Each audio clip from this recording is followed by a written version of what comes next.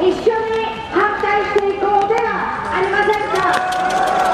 今社会は無法状態です東京千葉、えー、神奈川愛知福岡大阪の機動隊が社会に結集をしています。本土が沖縄に襲いかかっていると思います。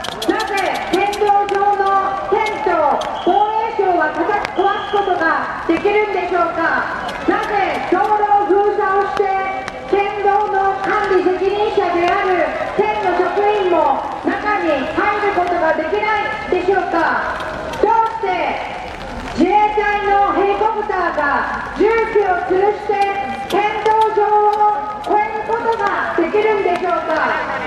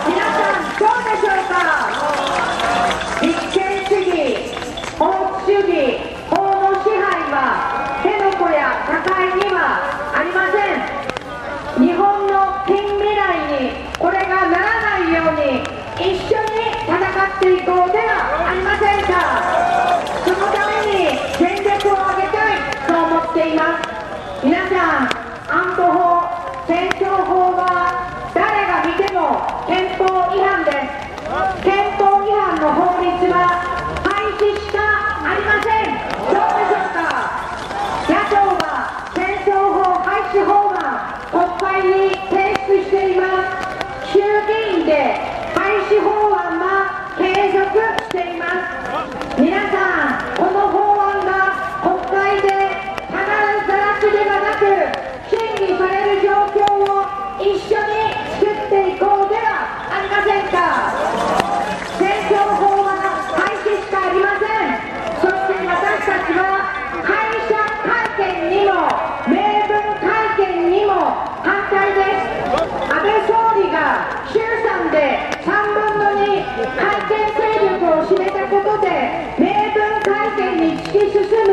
これを指しているのが私たちの未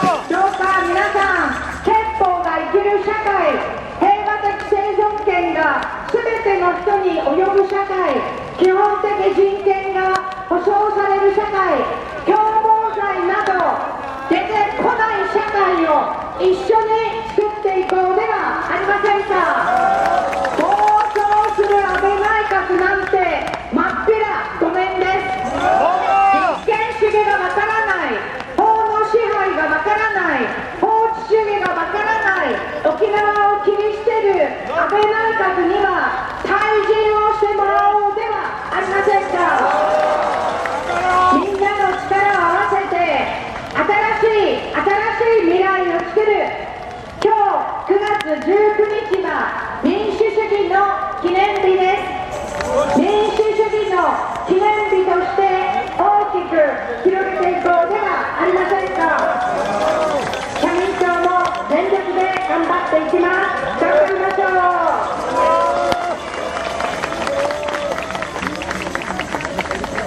福島さんありがとうございました。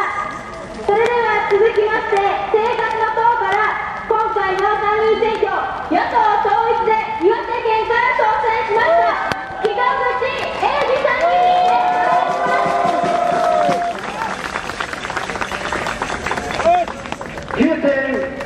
危を絶対に忘れない。戦争法安保法を絶対に許さない。そして私たち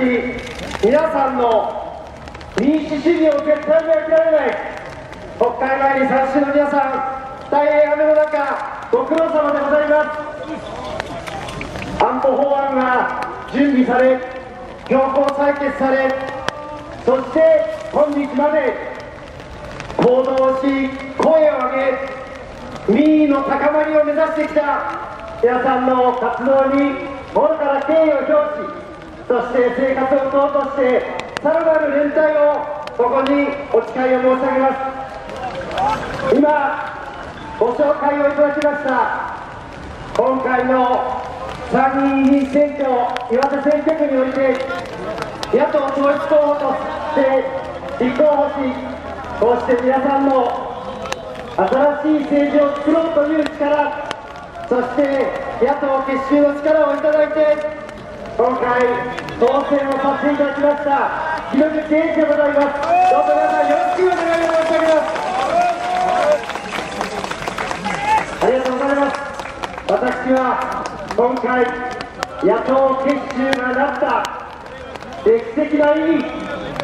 そして必然的な意義をこの体を持って分かっている人間であります。皆さんと共に政治を変えるそして皆さんの安全安心暮らしを守るそういう日本に変えていくこと今日お集まりの活動の代表そして先輩方と一緒に生活の党気が詰まって働いていくことここにお誓いを申し上げる次第でございます。岩手県では2011年3月11日東日本大震災が襲いました。かつてない被害にかつてない支援が必要でありました。その時の支援の中心を担っていただいたのが東北方面隊第9師団の皆さんであります。岩手県庁に師団長をはじめ司令本部を置きタスト拓也岩手県知事とともに県民の皆さんと力を合わせ人命救助そして物資の補給そして避難所の支援まで全てにおいて支えていただいたのが第9師団自衛隊の皆さんであります。今その皆さんがこの憲法違反といえる安保法制の中であの危険が高まっているまさに戦争状態といえる南スーダンに送られるその準備のために今訓練を強いられている状況であります。岩手の人間はそして今日集まりの皆さんはそのことに大きく今心を痛め責の面何とかしなければいけないという思い今さらにこの9.19で強めていることだと思っております。どうか皆さんまだまだそういう短期間の準備の中で政府は南スーダンの立否を全く認めていない。自衛隊の皆さんの安全はどこに保障されているのか。戦死者戦傷者が出た時の保障は十分なのか。戦傷者が出た時の命を救う医療体制も十分なのか。全くそうではないという関係者の声を私は聞いておりますこういう中で送られる私たちはやはりもう一度力を合わせ声を上げていかなければいけない。そのことをまた皆様にお伝え申し上げたいと思っております。福島先生と一緒に希望の会3人で会を作りました私たちはこの日本にまだ希望を諦めておりません希望の反対は絶望であります何をしたらいいか分からなくなることが絶望であります私たちは皆さんは今何をしなければいけないかよく分かっているですから声を上げていきましょう行動してまいりましょうこの国にまだ民主主義が機能しているうちに私たちは戦ってまいりましょう。共に戦っていくこと戦っていくことをお誓い申し上げ生活構造を代表してのご挨拶とさせていただきます皆さん頑張りましょうひろみさん、どうもありがとうございました。それではご発言いただいた、えー、国会議員の皆さん、もう一度ステージの上にあの上がってくださいません。皆さん、国会内外での戦いはまだまだこれから続いてまいります。私たちこれから自衛隊の兵、そしてそして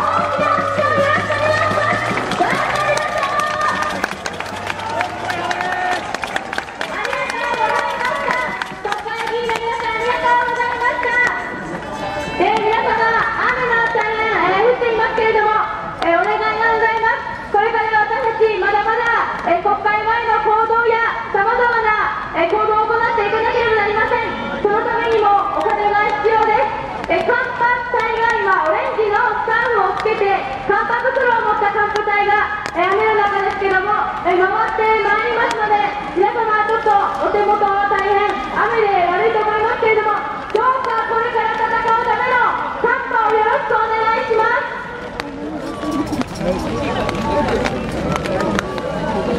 それでは続きまして主催3団体から挨拶を、えー受けさせていただきたいと思いますまず戦争させない専任委員会から日本体育大学の清水正彦さんですお願いしますえー皆さんこんにちは、戦争殺害専任委員会の清水と申します、えー本職は日本体育大学で憲法を教えている憲法研究者です、えー昨年6月3日私たち憲法研究者は戦争法は反対廃止を求める声明を出しました、えーその事務局の一人を務めたわけですけども